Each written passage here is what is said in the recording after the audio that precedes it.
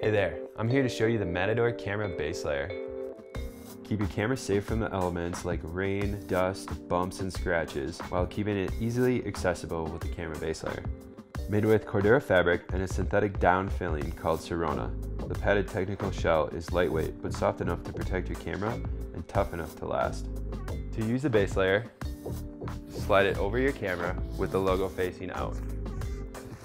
Align the top edges and simply roll down until snug and snap behind the strap.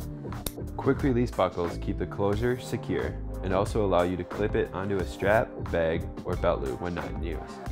When you're ready to take your shot, undo the buckle in the back and pull the tab down to expose the entire camera. An integrated rain fly with sealed seams is stored into a built-in pocket and pulls out for waterproof protection. Simply pull the rain fly up around the base layer and align all four edges at the top. Roll and buckle the seal. For additional water protection, you can put the straps completely inside the base layer.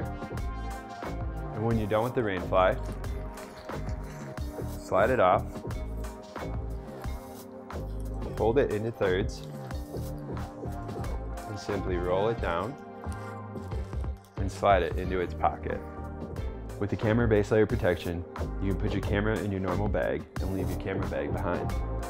That's the Matador camera base layer. Thanks for watching.